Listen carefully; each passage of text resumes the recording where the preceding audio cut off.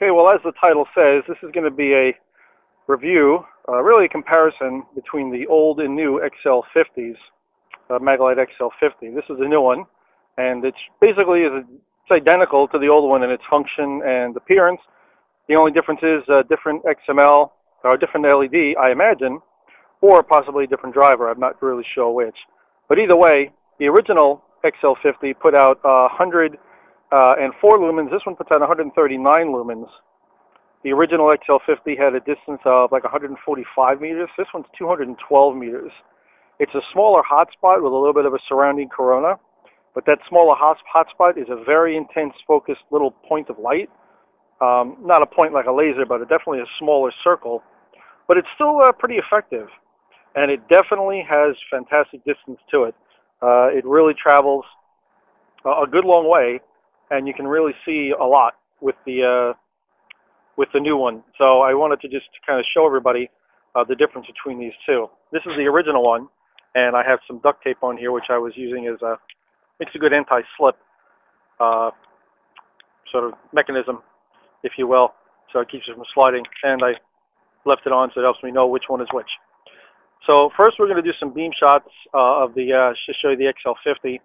And just for the record, this one has uh, brand new uh, disposable batteries in it. And the, uh, the new XL50, the brighter one, actually has rechargeables. So it'll be more than a fair test because the XL50 actually has a little bit uh, higher voltage batteries in it. Uh, but you'll still see the difference. All right, so turn off the headlamp. And this is the old XL50, 104 lumens. You know, nice job. There's a good beam to it. It's good light. Getting the fence there. No, not super bright, but for the average person, uh, everyday kind of carry light. Really good. Trucks here since it's early in the morning going by. And we'll just shine it around a little bit to give you an idea. That fence there is about 30 feet. And the transformer mm, 130 feet or so. Top out at 340 feet, 150 feet. It is hitting it. Not sure how well it's showing up on the camera. So you're hitting the lower portions there. And, uh, and just behind us here, about 10 feet to that fence. Pan around.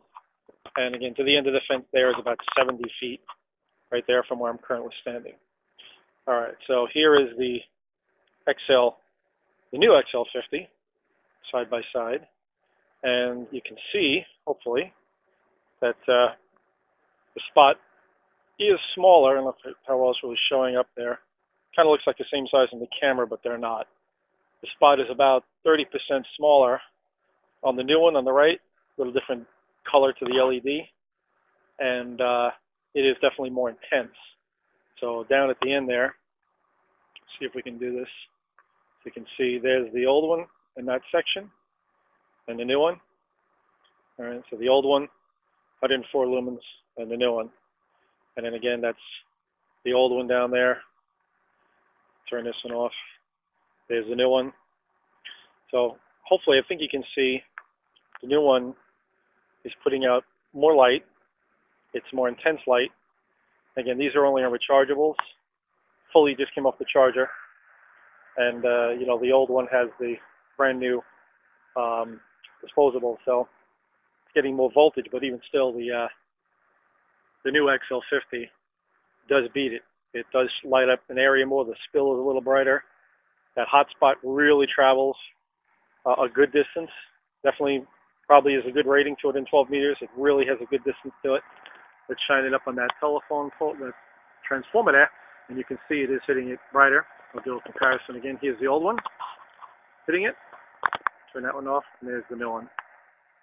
So, as you can see, it is throwing more light, hitting it with a more powerful beam through the tree.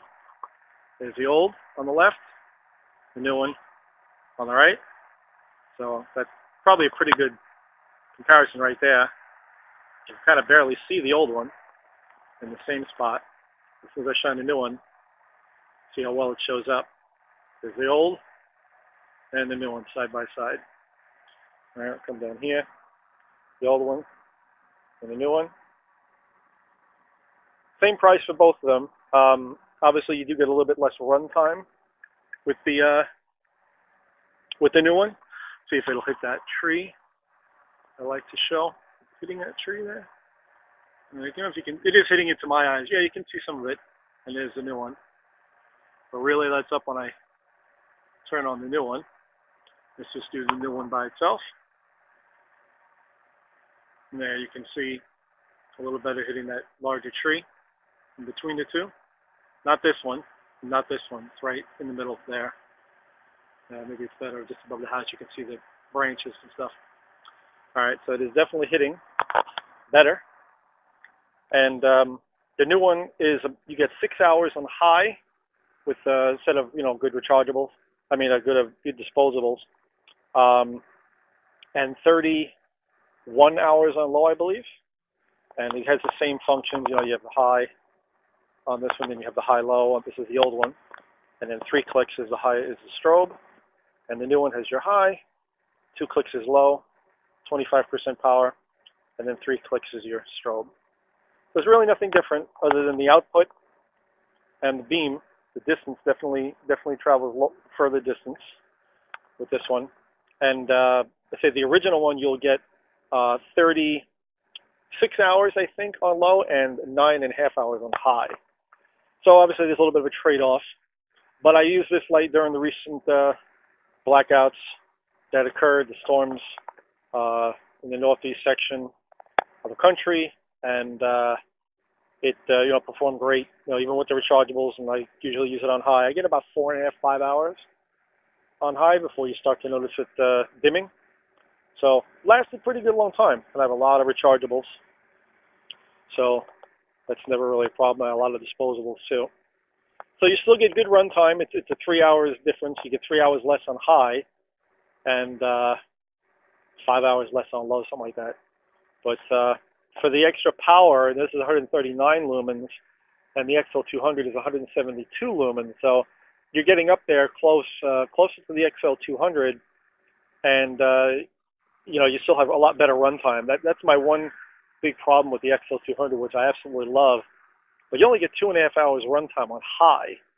So when you factor in that uh, you know you're only getting two and a half hours on high, but you're getting 172 lumens and this one gives you 140 lumens, but you get six and a half hours. That's that's a big difference for only a 30 lumen change in output. This is the uh, the XL200. All right, this is my blue one. It's got the five modes and the you know the variable power. Just so so for those not familiar, and instead of having the tape, I just put a rubber band on this thing to act as an anti-slip, keep it from sliding out of your hand, which works better because the tape would come off a lot, and you know the heat in your pocket and stuff. It would kind of start to come off, so I opted for the rubber band. But just to give you a quick idea on this is the XL200. And focus that beam a little bit. So there's the XL200 thrown at 172 lumens. Does a great job, of course.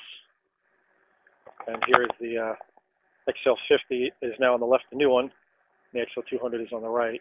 Again, these are different beams. The XL50 is much more focused the beam, more intense, uh, does have a further distance, a lot further distance. But the XL200 does crank out more overall light uh, in a more dispersed pattern.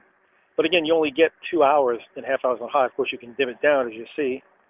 You know, put the XL50 on low.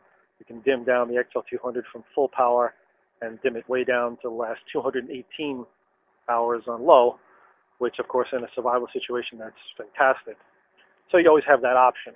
I usually keep it, you know, maybe 20% down from full, which is about right there, and it's good enough for me to see what I'm doing. But uh, so anyway, that's my one real problem with the XL 200, which is why I like this new XL50 because you get now there's actually 30 uh, five lumens out of this one. Uh, nice further beam distance, more light, so it helps you see, brings you closer to the XL200, but you're still getting really good runtime, a good six hours on a set of good, uh, you know, Duracells or Energizers, and up to 30. I think it's 31 hours. Yeah, 33 or 31. I'm not sure. I think it's 31 though. Um, off uh, 31 hours on low, and it really does shine. Get a nice distance out of this thing. Lights up stuff far away pretty well. Easy, a good effective range is two to 300 feet. You can see what's up going on up in some tree or something pretty well because it's a nice tight spot. And uh, it's the same price at Walmart, twenty nine ninety eight, something like that. I got it for. So anyway, just wanted to bring that to everyone's attention. Uh, if you're looking for again a nice everyday carry light that has uh, you know a little bit better power, excellent runtime for those um, power out situations of camping, and a good spot so you can really see distance. This would be a great one to pick. And of course, with all the XL series, you can sort of adjust the beam as you see. Not really that great. It just kind of disperses it all over the place, but uh, it does work. You know, you can keep it a, have a little bit of a spot in the middle and a little bit more of a wide area beam.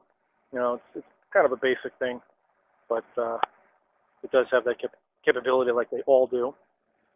So again, if you just kind of want to see an area, something up close indoors, and then you can always do that, put it on low, and you can get uh, customize it for what you need. But even on low, again, this one is brighter than the old XL50 on low. It's noticeably uh, there's noticeable difference, and uh, so again, even on low, you can still have enough light to see what you're doing. So that's pretty much all you can say. I just wanted to again bring that to everyone's awareness. The new XL50 um, with the 139 lumens, 212 meter beam distance, and uh, six and a half hours on high, and I think it's 31 hours on low. So there we go.